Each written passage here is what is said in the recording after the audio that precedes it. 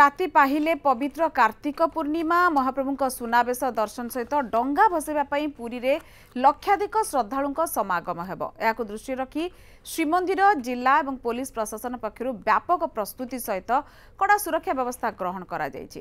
ତେବେ ଭକ୍ତଙ୍କ ପ୍ରବଳ ଭିଡ଼କୁ ଦୃଷ୍ଟିରେ ରଖି ଆବଶ୍ୟକ ପଡ଼ିଲେ ଶ୍ରୀମନ୍ଦିରରେ ଆଜି ମହାପ୍ରଭୁଙ୍କର ରାତ୍ର ପହୁଡ଼ ହେବ ନାହିଁ ବୋଲି ଶ୍ରୀମନ୍ଦିର ମୁଖ୍ୟ ପ୍ରଶାସକ କହିଛନ୍ତି।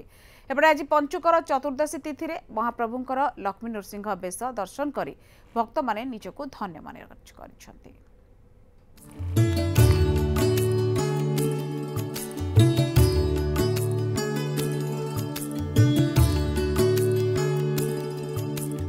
ଆଜି ପଞ୍ଚୁକର ଚତୁର୍ଥ ଦିନ ବା ବୈକୁଣ୍ଠ ଚତୁର୍ଦ୍ଦଶୀ। କାର୍ତ୍ତିକ ଶୁକ୍ଳ ଚତୁର୍ଦ୍ଦଶୀ ତିଥିରେ ମହାପ୍ରଭୁ ଲକ୍ଷ୍ମୀ ନୃସିଂହ ବେଶରେ ଅଗଣିତ ଭକ୍ତଙ୍କୁ ଦର୍ଶନ ଦେଉଛନ୍ତି।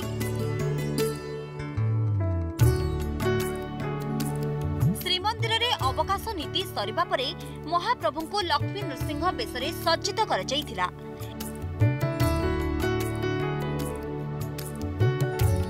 ଇନ୍ଦ୍ରଦ୍ୟୁମ୍ନ ମହାରାଜ ଯେତେବେଳେ ଦାରୁ ଦେବତାଙ୍କୁ ପ୍ରଥମେ ଦର୍ଶନ କରିଥିଲେ ସେତେବେଳେ ମହାପ୍ରଭୁ ତାଙ୍କୁ ନୃସିଂହ ବେଶରେ ଦର୍ଶନ ଦେଇଥିଲେ। ସେହି ସ୍ମୃତିରେ ମହାକାର୍ତ୍ତିକ ପଞ୍ଚୁକର ଚତୁର୍ଦ୍ଦଶୀ ତିଥିରେ ଶ୍ରୀବିଗ୍ରହ ମାନଙ୍କର ଏହି ବେଶ ଅନୁଷ୍ଠିତ ହୋଇଆସୁଛି।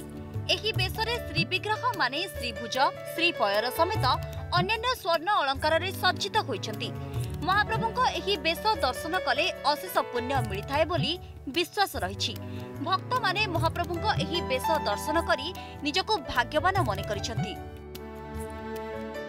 अच्छा लगा मुझे पता नहीं था ये अलग अलग बेच रहता है अ, पूरी में अच्छा से दर्शन हो गया मेरा यहाँ पे और व्यवस्था भी अच्छी है यहाँ पे सब तो दर्शन हुआ, बहुत खुश हूँ मैं यहाँ पे। धाम है, चार धाम में से एक धाम है।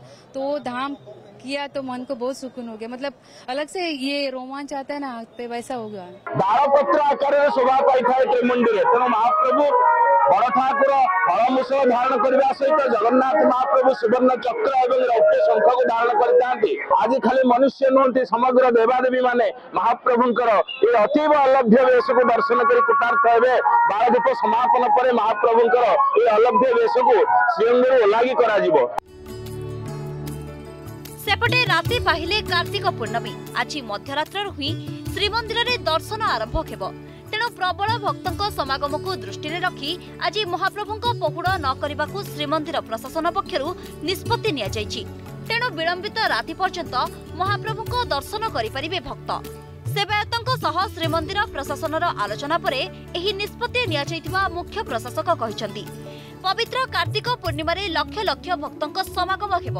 ଏହାକୁ ଦୃଷ୍ଟିରେ ରଖି ପୋଲିସ ପ୍ରଶାସନ ପକ୍ଷରୁ ବ୍ୟାପକ ପ୍ରସ୍ତୁତି କରାଯାଇଛି। ପଚାଶ ପ୍ଲାଟୁନ ପୋଲିସ ଫୋର୍ସ ସହ ଶ୍ରୀମନ୍ଦିର ଭିତରେ ଭକ୍ତଙ୍କ ଶୃଙ୍ଖଳିତ ଦର୍ଶନ ପାଇଁ ପାଞ୍ଚ ପ୍ଲାଟୁନ ପୋଲିସ ଫୋର୍ସ ମୁତୟନ ରହିବେ।